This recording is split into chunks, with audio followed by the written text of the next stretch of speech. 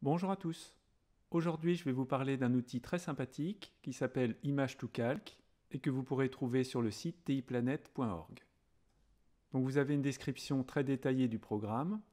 Donc l'idée est de pouvoir afficher une image sur l'écran de votre machine. Donc on voit que leur outil est compatible avec beaucoup de calculatrices, mais sur certaines, comme par exemple la Numworks, l'image s'affichera en utilisant un script Python. Donc dans cette vidéo, je vais vous montrer comment récupérer une photo sur les TI-83 Premium édition Python ou les Casio Graph 90 directement sans script Python.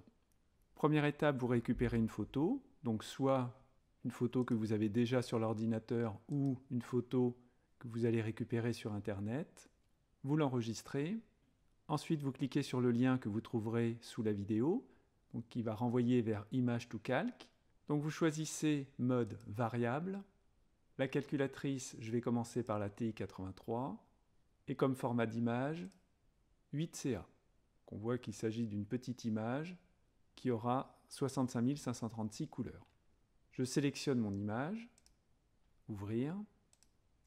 Donc il vous demande de rentrer un nombre entre 0 et 9. Je vais mettre 1 et je peux récupérer l'image qui a été convertie enregistrer, vous connectez votre calculatrice en USB et vous lancez le logiciel TI Connect. On va aller dans les fichiers et ensuite vous glissez l'image dans le dossier ou alors vous cliquez sur cette icône, vous récupérez image 1 et ouvrir. Envoyer et maintenant l'image est sur la calculatrice. Donc pour la voir, vous allez dans seconde format, arrière-plan, et vous recherchez image 1. Si vous voulez voir un peu mieux l'image, mettez bien ne pas afficher pour les étiquettes, ne pas afficher les axes, ne pas afficher le quadrillage et ne pas afficher les coordonnées. également dans f2x, vérifiez que vous n'avez pas de fonction, sinon il va tracer la fonction sur l'image. Et dans seconde graph stat, vérifier que tout est à non affiché. Il suffit ensuite d'appuyer sur Graph pour voir votre photo. Par cette technique, vous pouvez mettre 10 photos entre 0 et 9 sur votre machine. Passons à la Casio Graph 90. Donc je garde le mode variable, Casio Graph 90, et je prends le premier format où on voit que la résolution sera plus grande que sur l'ATI. Je sélectionne l'image, ouvrir. Il me demande un nom, je vais garder Jennifer et j'enregistre le fichier. Je branche la calculatrice en USB, ensuite F1 et vous avez maintenant accès au contenu de la machine.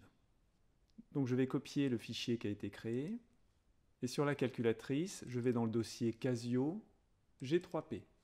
Donc là, on retrouve toutes les images de fond qui existent déjà sur votre calculatrice je colle Jennifer et vous déconnectez la machine. Alors pour voir l'image, vous pouvez aller dans conique, graphique dynamique ou graphe. Je vais prendre conique, exécute, shift setup et comme image de fond, je vais demander à ouvrir donc dans Casio G3P l'image qui m'intéresse. Alors remarquez au passage que quand vous faites détail, vous voyez l'image. Je prends Jennifer, détail, je vois que c'est la bonne image, donc ouvrir. Je sors, et il faut que je choisisse une équation, donc vous pouvez par exemple prendre un cercle, et vous lui mettez un grand rayon, par exemple 100. Donc si je fais afficher, vous voyez votre photo.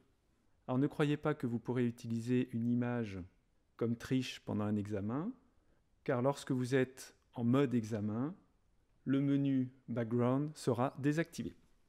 Voilà, à bientôt